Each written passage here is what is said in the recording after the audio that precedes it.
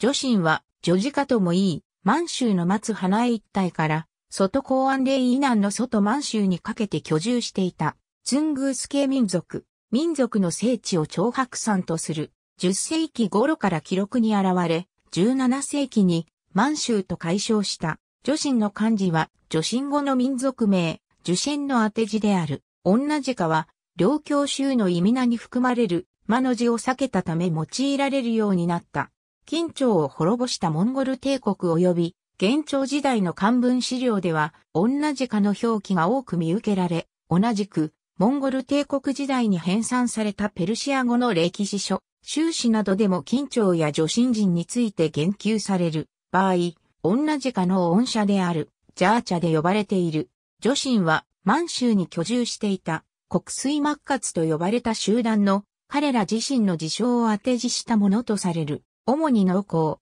漁労、牧畜、狩猟に従事し、中国との間で朝鮮人参、毛皮を貿易していた。国水部、族末部など様々な部族があり、長く統一されることがなかった。また10世紀後半から11世紀にかけて頻発した高麗軍の入港のうち、1019年のトイの入港において、津島、九州の太宰府を襲ったトイという海賊集団は、女神系の一部族が主体だったと考えられている。トイの構成員については、高麗人や吉丹人なども混じっていたと言われるが、詳細は不明である。歴史に現れて以来、量に従っており、中国化の度合いによって、熟女神と生女神の二大集団に分かれていた。女神の民族名については、彼らの言葉で、人々や民を意味する言葉とされる。漢人がこの地の人々に、お前たちは何者だと問うたところ、人々だと答えたことから、女神という漢字を当てられたのだという。12世紀初めに、ワンヤン部のアグダが出て、女神の統一を進め、1115年に領から自立して金を建国した。金は領、北宋を滅ぼし、中国の北半分を支配した。金の時代に漢字や吉丹文字の影響で女神文字を作ったが、元、民の間に忘れ去られた。やがて、金がモンゴル帝国に滅亡させられた際には、古地をすでにモンゴル軍に奪われて、中原に取り残された大勢の女神がモンゴル人と肝心双方からの攻撃を受けて、大半が死滅し、中原から女神の集団は消滅した。一方、孤児に残って集団を保っていた女神は、モンゴル、元に服属することになった。現代の女神は、満州から朝鮮半島北部にかけて居住して、元の支配を受けており、元の日本侵攻にも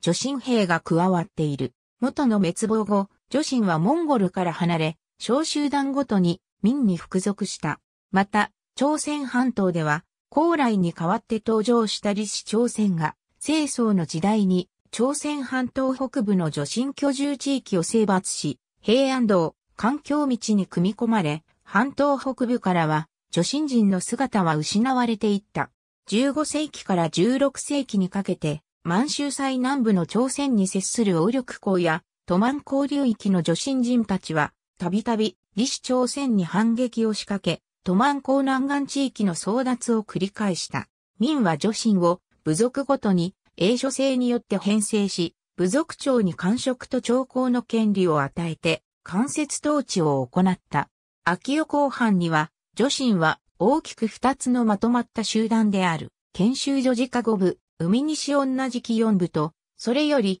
東方に住んでまとまりの弱い野人女児科と呼ばれる四部からなっていた。16世紀末に、賢州女児科から出たヌルハチはこれら13部族を統一して、1616年に後金を建てた。1635年に、本体寺がモンゴルのチャハルブを下して元の玉璽を入手すると、漢字としては別称のニュアンスを含む上に、モンゴル高原の期間に従属していた当時の女神の民族名を嫌い、1635年11月22日に民族名を満州族に改めさせた。また、それまでは女神族王朝である金の公営として後金と名乗っていたが、民族名の変更に伴って、翌1636年に国号も清に改めた。白桃山周辺は、もともと Y、白、畜神が居住しており、彼らの聖地だった。その後この地における、Y 白の勢いが衰え、畜神の流れを組む女神がこの山を聖地とした。金は、1172年には山に住む神に、広告霊王王の称号を送り、1193年には、開き天候制定と改めている。単に、魔の字を、自家と書き誤った、という説もある。唐の時代に入庁した、末活人の名乗りが、女神の初見であると記録される。熟女神は、国水末活に服属した、渤海人のことでに滅亡されるまで唐の文化を導入していた。一方の生女神は祝神から木吉以降、ツングース本来の魚老や農耕、養豚、狩猟を制御としていた国水末活のことである。ありがとうございます。